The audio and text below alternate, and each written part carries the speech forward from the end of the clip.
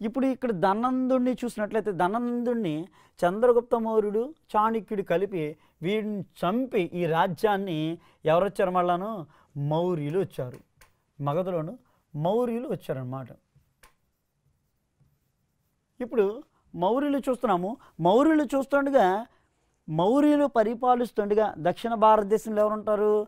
దక్షిణ భారతదేశంలో ఆల్రెడీ మౌర్యులు ఉన్నారు. చిన్ని చిన్ని రాజ్యాలు ఉన్నాయి.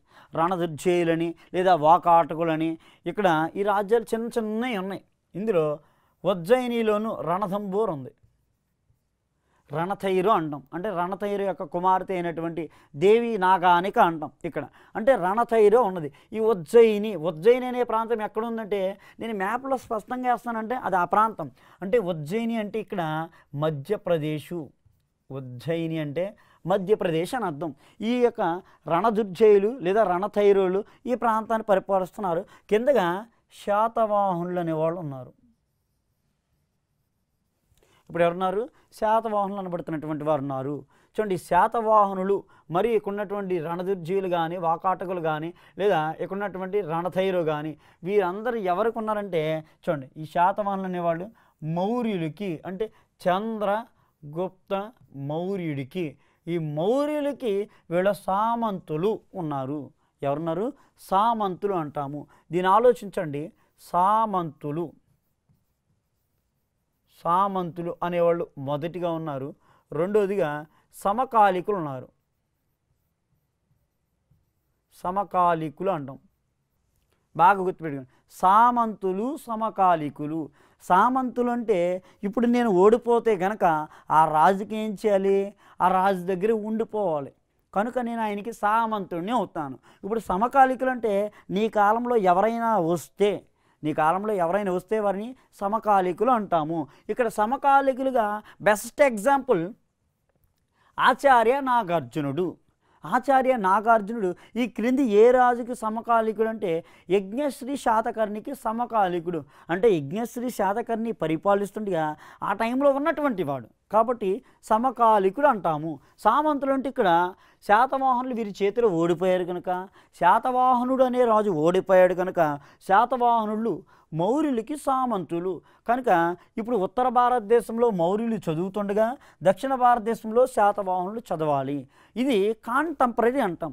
ఇలా లింక్ ప్రాసెస్లో చదివితే మేబీ మౌర్యుల్ని శాతవాహనులు చదివితే కనుక ఖచ్చితంగా గ్రూప్ వన్లోనూ మంచి క్వశ్చన్ వస్తుంది. రెండోదిగా గ్రూప్ టూ కానీ గ్రూప్ త్రీ కానీ అదర్వైజ్ ఎలాంటి పోటీ పరీక్షలో అయినా కానీ మనకి ఇందులో నుంచి మినిమం ఈ రెండింటి నుంచి కూడా ఒక నాలుగు ఐదు ప్రశ్నలు వచ్చేటువంటి అవకాశం అయితే మిండుగా ఉంది.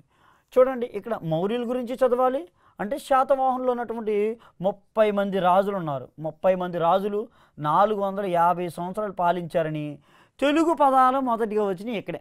లాస్ట్ టైము రెండు వేల పన్నెండు కానీ రెండు వేల ఎనిమిది కానీ రెండు వేల పద్నాలుగు కానీ రెండు వేల పదహారు కానీ పరీక్ష పేపర్లు చూసినట్లయితే కనుక శాతవాహనుల నుంచి ఖచ్చితంగా క్వశ్చన్లు అనేది మనకి స్పష్టంగా ఉన్నాయి. రెండవదిగా మరి నిన్నటి కాలంలో జరిగినటువంటి గతంలో ఒక వారం క్రితం జరిగినటువంటి ఎస్ఐ పేపర్లో కానీ సబ్ ఇన్స్పెక్టర్స్ పోలీస్ కానిస్టేబుల్స్లో కానీ అలాగే వీటిలో మెట్రో వాటర్ వర్క్స్లో కానీ జరిగిన పరీక్షల్లో ఖచ్చితంగా క్వశ్చన్ అనేది దీని నుంచి లేకుండా లేదు మినిమం దీని నుంచి ఒక క్వశ్చన్ ఇచ్చాడు. అంటే తెలుగు పదము మొట్టమొదటి తెలుగు పదం ఏ పదం అన్నాడు. ఈ క్రింది వనలో మొట్టమొదటి తెలుగు పదము.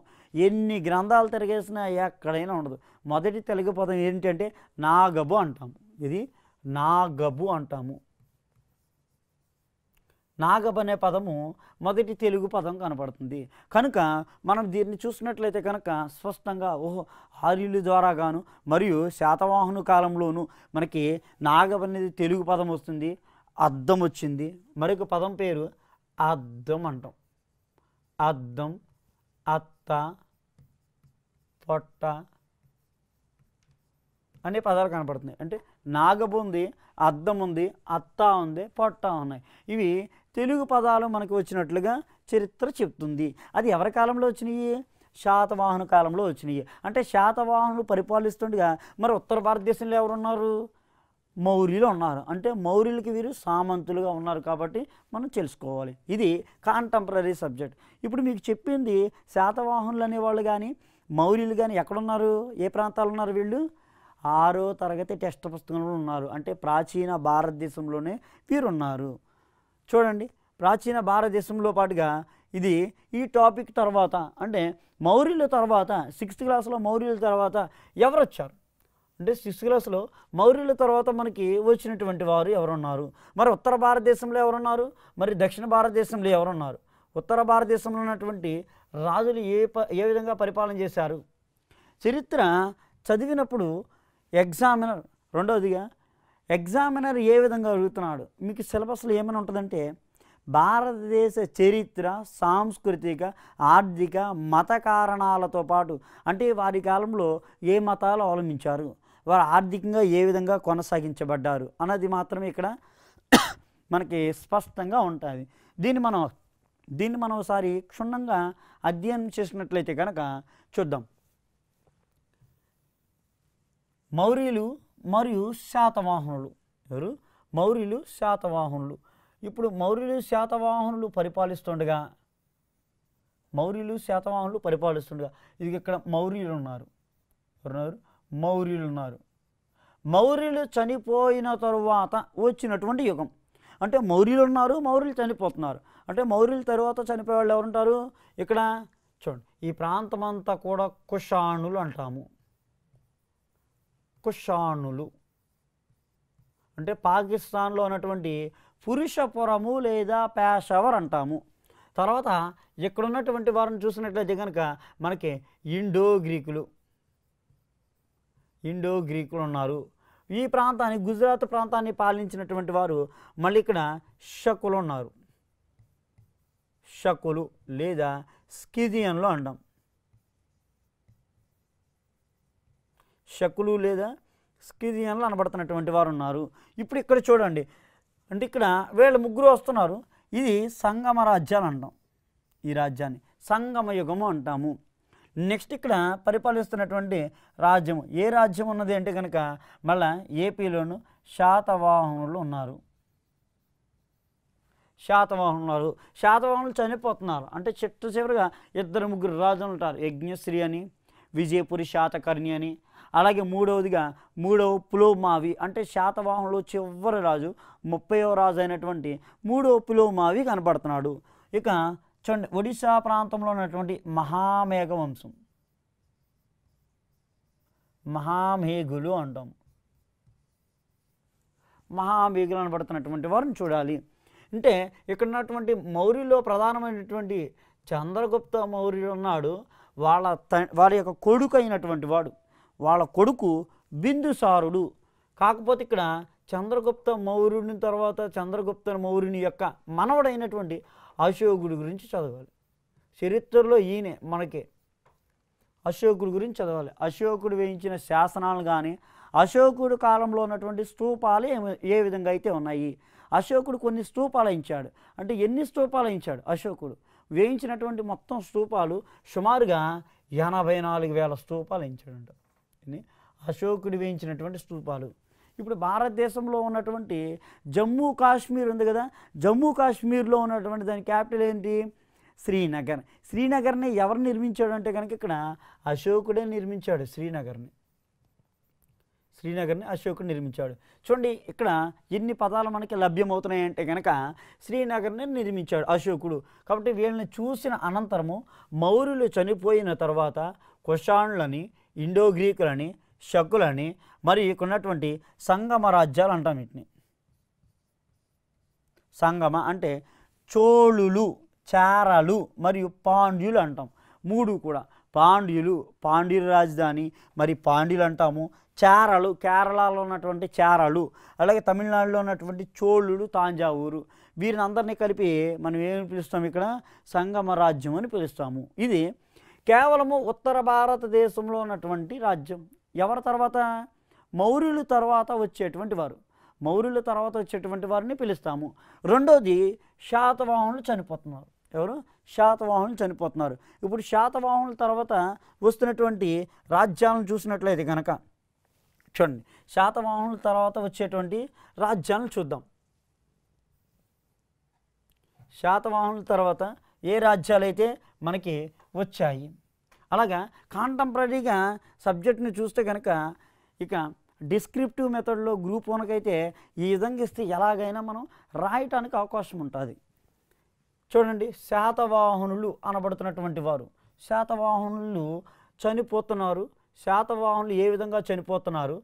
కృష్ణా జిల్లా గుంటూరును మరియు కృష్ణా జిల్లాని ఏ విధంగా ఎవరు పరిపాలించారు ఇప్పుడు? ఎవరు వచ్చారన్నది చూస్తే శాతవాహనుల తర్వాత వచ్చినటువంటి వారు ఇక్ష్వాకులు అంటాము. ఇక్ష్వాకులు అనేవాళ్ళు వచ్చారు. అంటే శాతవాహనులు చంపి ఇక్ష్వాకులు వచ్చారు. అంటే ఇక్ష్వాకులను చూడాలి. ఇక్కడ చూడండి ఇక్కడ ఇక్ష్వాకులను చూడాలి. ఇక్ష్వాకుల తర్వాత శాలంకాయనులు చూడాలి. శాలంకాయనులు చూడాలి. విష్ణుకుండిని చూడాలి. విష్ణుకుండినులు రణదుర్జయులు రణదుర్జయులు వాకాటకులు వాకాటకులు ఆనంద గోత్రిజులు ఆనంద గోత్రిజులు వీరు అంటే ఇక్ష్వాకులు తర్వాత అంటే శాతవాహన అనంతరీకులు అంటారు వీళ్ళని. వీళ్ళని ఏమని పిలుస్తాము? శాతవాహన శాతవాహన అనంతరీకులు అంటాము.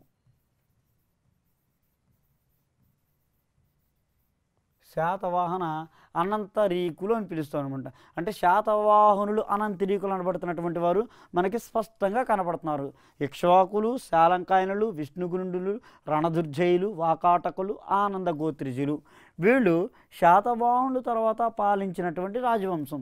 మరి ఉత్తర భారతదేశంలో ఎవరున్నారన్నాము? ఉత్తర భారతదేశంలో మనకి శకులు ఉన్నారు అలాగే ఇండో గ్రీకులు ఉన్నారు పార్థియన్లు ఉన్నారు. తర్వాత ఉత్తర భారతదేశంలో చివరిగాను పాకిస్తాన్ పేషావర్ని కుషాణులు ఉన్నారు.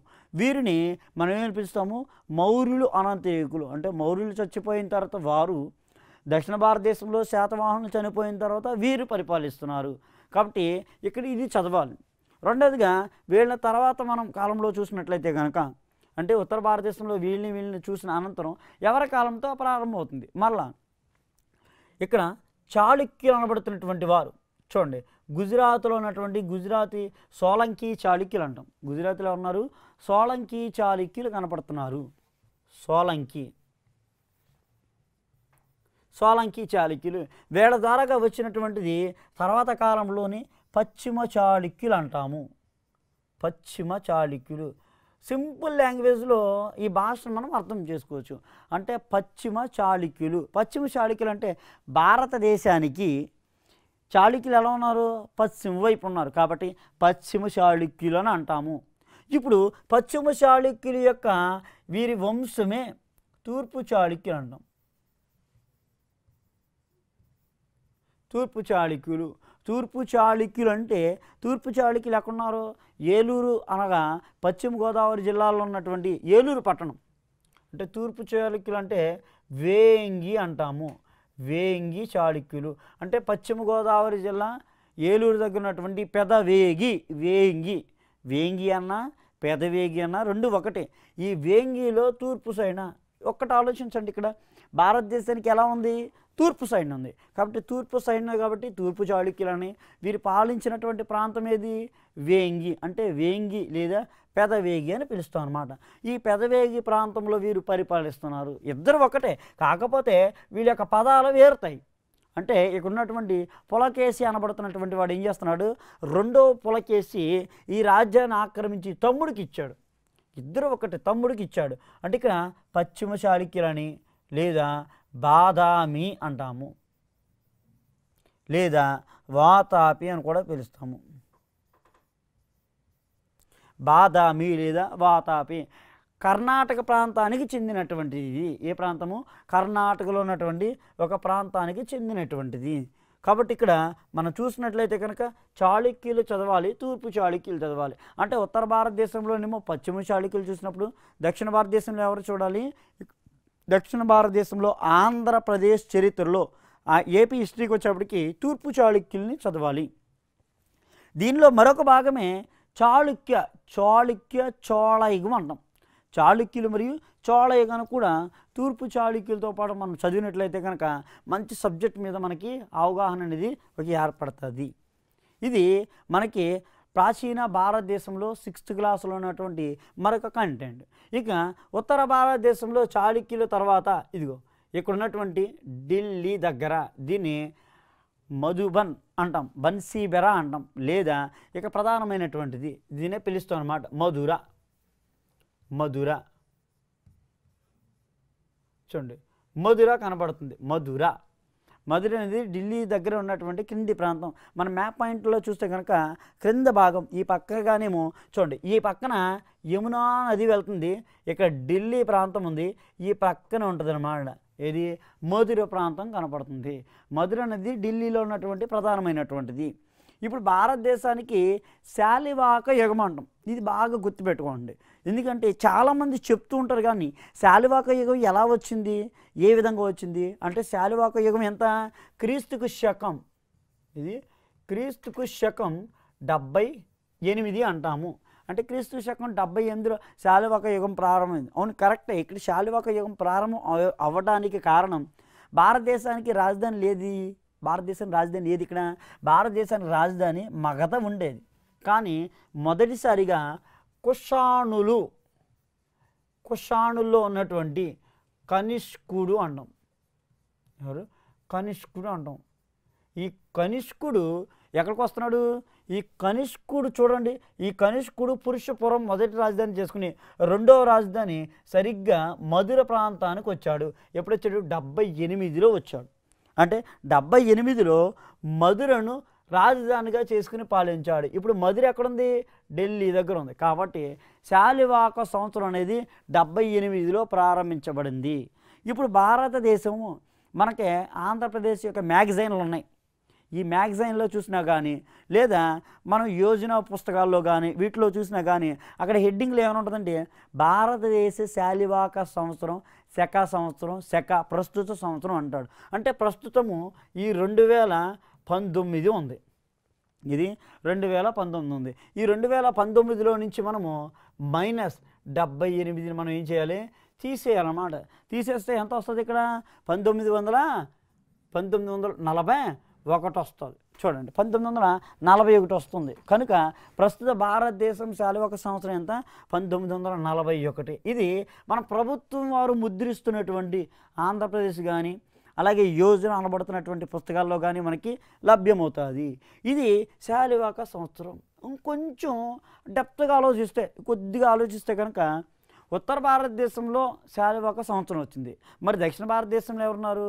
ఎస్పెషల్లీ ఇందులో దక్షిణ భారతదేశంలోనూ శాలివాక సంవత్సరాన్ని పాలిస్తున్నప్పుడు లేదా శక సంవత్సరం ప్రారంభించినటువంటి రాజు ఎవరు అంటే కనుక ఆంధ్రాలో ఆంధ్రాలో గౌతమి అంటే గౌతమి పుత్ర శాతకర్ణి జీపీఎస్ అంటాం.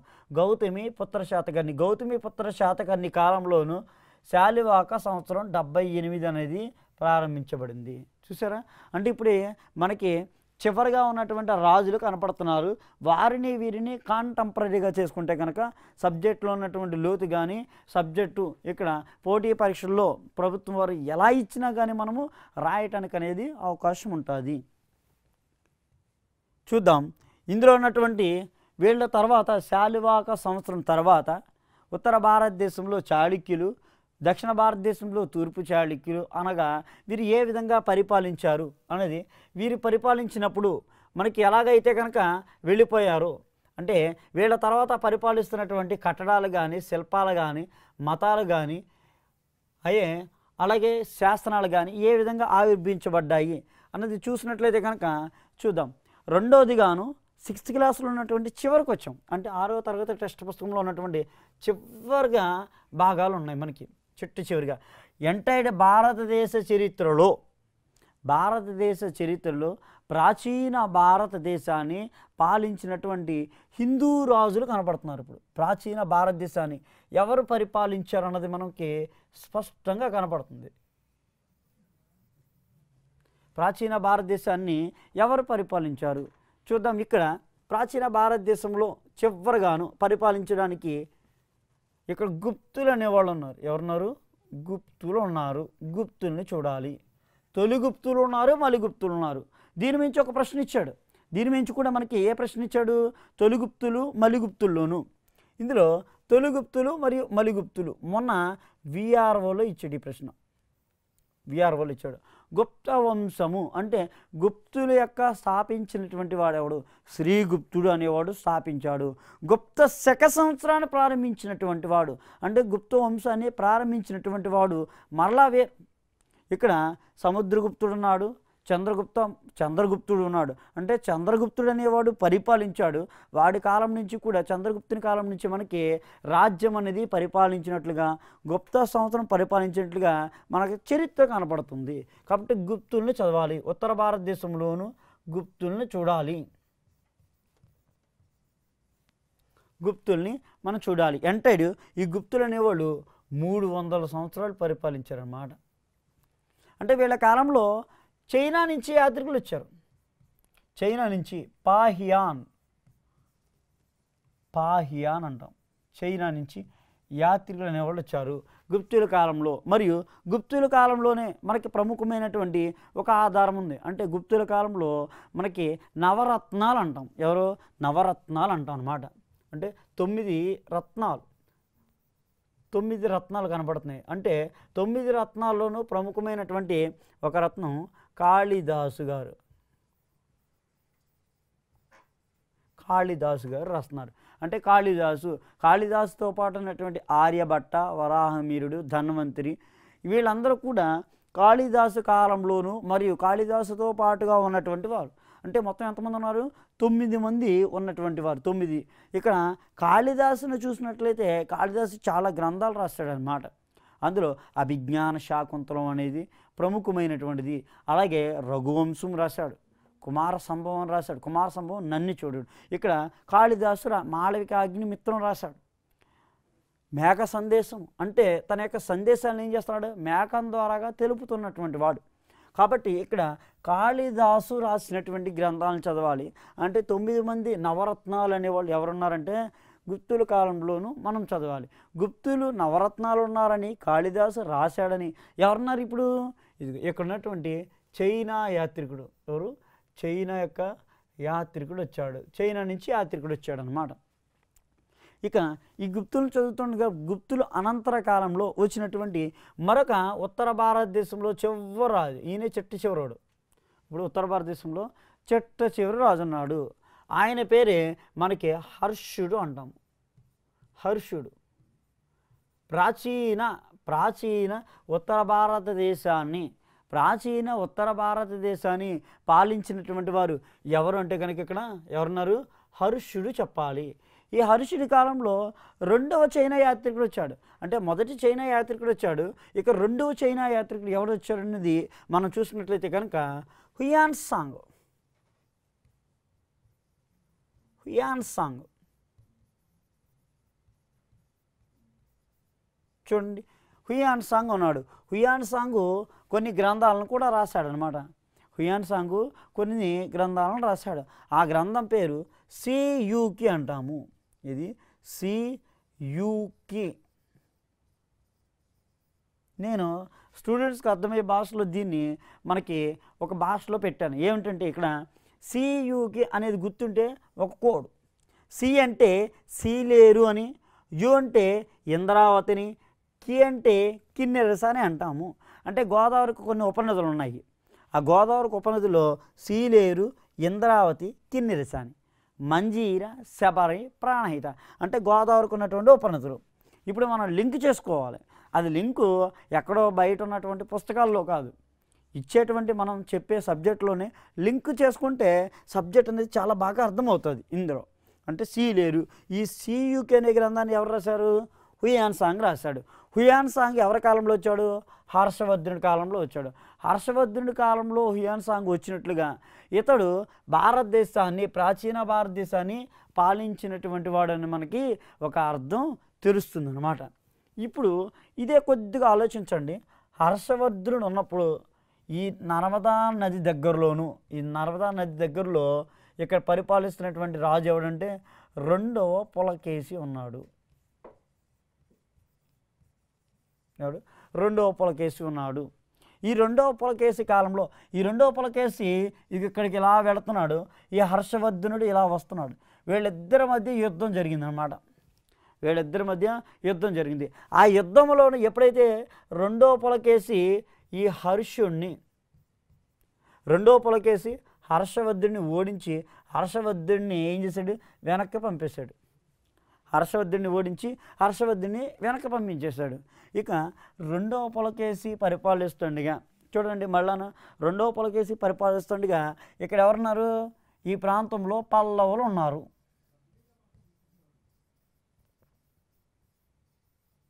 ఎవరు? పల్లవులు కనపడుతున్నారు. చూడండి ఇది పల్లవులు కనిపిస్తుందిగా. ఈ పల్లవుల కాలంలోనూ ఇక్కడ మహేంద్రవర్మ నరసింహవర్మ ఉన్నాడు. అంటే మహేంద్రవర్మ నరసింహవర్మ. మహేంద్రవర్మని రెండో పులకేసి మహేంద్రవర్మను చంపేశాడనమాట అంటే చనిపోతున్నాడు. మొదటి నరసింహవర్మ ఉన్నాడు. తండ్రిని చంపాడు కనుక నరసింహవర్మ వీడిని చంపాడు. ఇప్పుడు అర్థం చేసుకోండి ఇక్కడ. ఉత్తర భారతదేశంలో హర్షవర్ధనుడు ఉన్నాడు. దక్షిణ భారతదేశంలో పల్లవులు ఉన్నారు మరియు ఇక్కడ ఉన్నటువంటి పశ్చిమ చాళుక్యులు ఉన్నారు కనుక దానిని దీనిని రెండు కలిపి చదువుకుంటే కాంటెంపరీగా మనకి సబ్జెక్ట్ చాలా బాగా అర్థమవుతుంది. ఇప్పుడు ప్రభుత్వం పెట్టేటువంటి పరీక్షల్లో కానీ ఈ పోటీ పరీక్షల్లో ఎలా అడుగుతున్నాడు? ఎనాలసిస్ అంటే కంటెంట్ అంతా కూడా మనకి బాగా తెలిస్తేనే మనం అడగడానికి అవకాశం ఉంది లేకపోతే మనం ఏ క్వశ్చన్ కూడా పెట్టడం ఆస్కారం లేదు. ఎందుకంటే ఇక్కడ ఉన్నటువంటిది చూడండి ఉత్తర భారతదేశాన్నే చదువుకుంటూ వెళ్ళిపోతాం కానీ దక్షిణ భారతదేశాన్ని తర్వాత చదువుదాంలే ఉన్నాం. అది అది కరెక్ట్ ప్రొసీజర్ కాదు. అంటే ఉత్తర భారతదేశం చదువుతుండగా దక్షిణ భారతదేశాన్ని మనము చదవాలి. అలాగా మన ఉత్తర భారతదేశాన్ని దక్షిణ భారతదేశాన్ని రెండు కాంటెంపరీగా చదువుకుంటే కనుక ఎంత బాగా ఆ సబ్జెక్ట్ మనకి అర్థమయ్యేటువంటి అవకాశం ఉన్నది.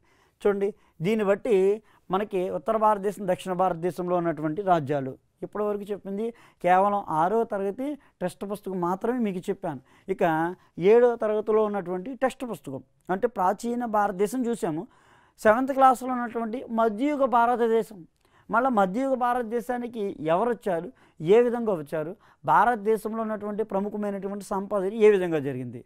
రెండోదిగా దక్షిణ భారతదేశంలో ఆంధ్రప్రదేశ్ చరిత్ర చూడాలి. అంటే ఉత్తర భారతదేశంలో చరిత్ర చూసినప్పుడు దక్షిణ భారతదేశంలో ఉన్నటువంటి మధ్యయుగ భారతదేశాన్ని మనము క్షుణ్ణంగా అధ్యయనం చేయాలి.